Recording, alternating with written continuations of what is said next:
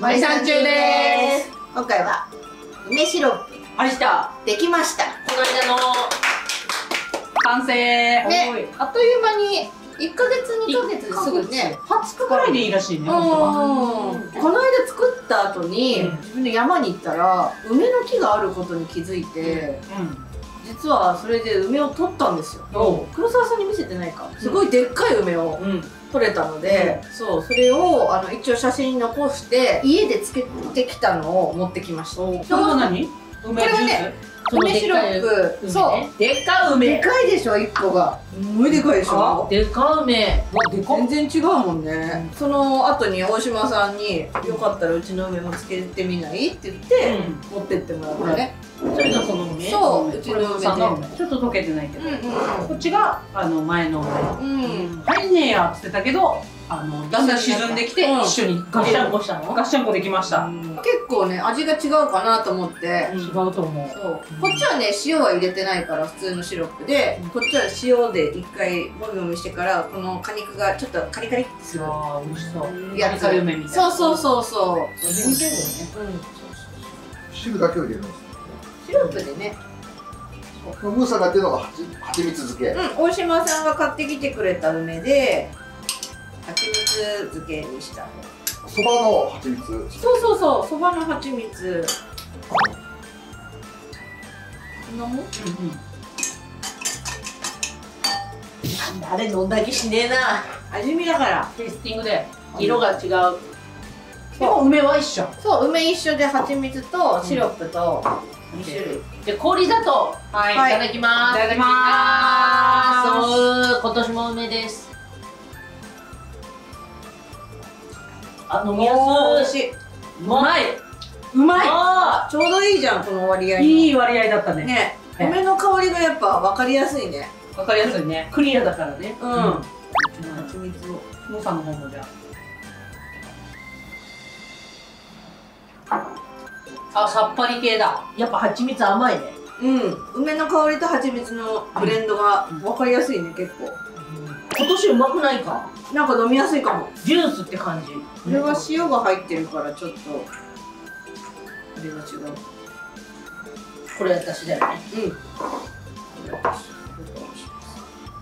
こっちが蜂蜜。そこっちが氷だと。そうう。塩でつけてるからちょっと塩分も感じるかもしれないオッケじゃあクリアから。ーはいいただきま梅が強くない。すうん。もうちょっとなんじゃないかやっぱり。あエキスがまだ出てない出てないと思う。砂糖っぽいもんね確かに。まだできってないんだ。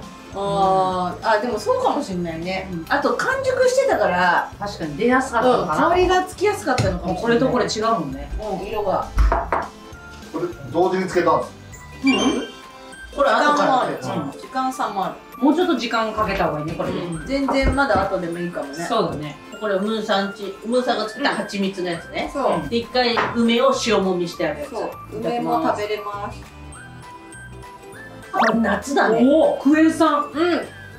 塩が入ってるから。あれみたい。スポーツドリンクみたいなね、うん。塩レモン飴みたいな、うんうん。夏バテの時に飲むやつだこれ。すごい。強いねこれ強いねこ割ってくれ。たんだちゃんとそうそう割って。出して。このさうわうまい。れ夏バテの時に飲むやつ重い果肉。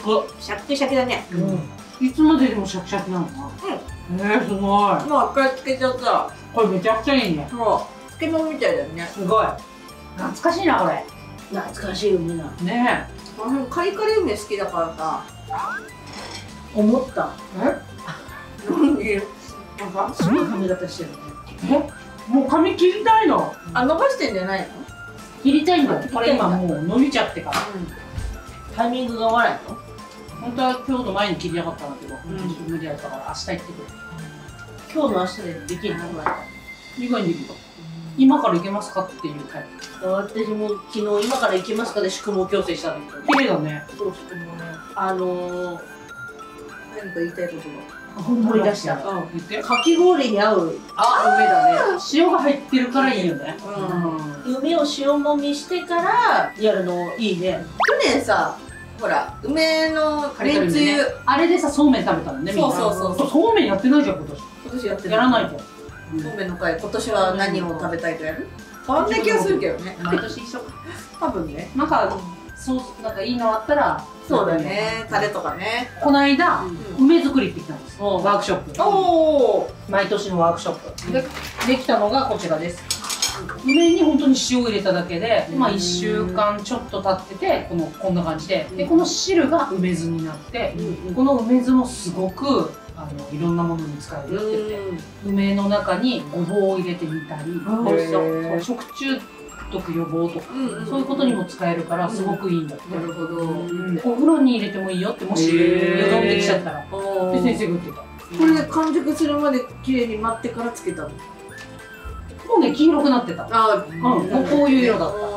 でで重要だからここ忘れちゃいけないと思ってさ、この土曜の土曜のに7月30日ぐらいから立秋8月8日くらいまでに天気の良さそうな3日3晩を選んで梅を裏表裏とまんべんなく押してください。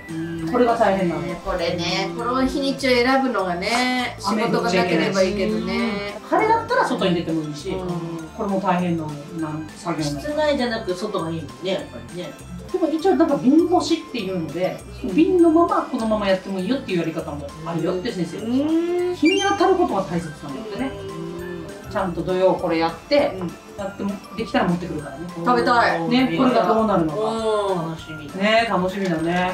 楽しみ。3日間選ぶのいや大変そこなんだねだよね。それだけやってればいいけどね。なんか他のことやってると忘れちゃったりするしさ。ちゃんと忘れないようにこのどこか。7 7月30日から8月8日までの3日間。ちょっと頑張りたい本当にでも雨が降んない日があればいいけどね。でも1日ダメだって1回取り込むでしょ、うん。そしたら1回置いといてまた1日置いて出してもいいよって先生が言ってた。そうなんですそれが OK なら3日間連続じゃなくてもいいよって先生が言ってた。できればってことだそうそうそうそう。うんちょっとこれもお楽しみに、うん。はーい。待ってます。は梅の時期だ。うちの梅がうん。できることが分かったから持ってくるしあのもしあったら梅狩りもできるかもしれない。出た梅狩り。もうずっと向こうでやってんじゃね23年後は。本当だね。あいつら行ったら出るって言うしね。言うよ言うよ。絶対言うよ。そうだねまた行きたいって言ってる。ねうん。ネギの話。よそうそうそうそうネギ。ね。本当は。どうなった？あの時埋めたやつね。リボベジ。見たよ写真。生えててでうん。今回ね持ってこようと思ってたらうん。動物にやられちゃったんだよね。食べた。美味しかったんだ。そどういうふうに食べたんだろう？